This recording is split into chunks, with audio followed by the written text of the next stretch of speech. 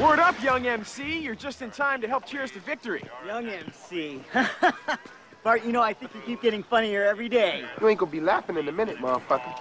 Well, Bart, I've decided since you and Jamal are my two best athletes, I want you up against Yale. ah. You can't just change the lineup. That's against the rules. What rules? Who cares? You guys care about the rules? No. There you go.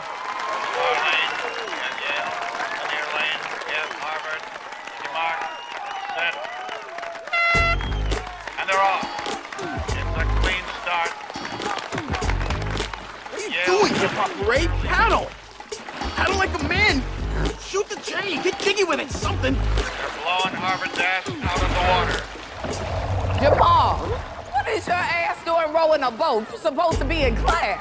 Who the hell is that woman in the sky? I don't know. What's the matter? You've been smoking too much ganja, huh? She's huge. Well, I guess you might as well come back home and live with me. Oh, hell no. Shit. Did you cuss at me? Roll, motherfucker, roll.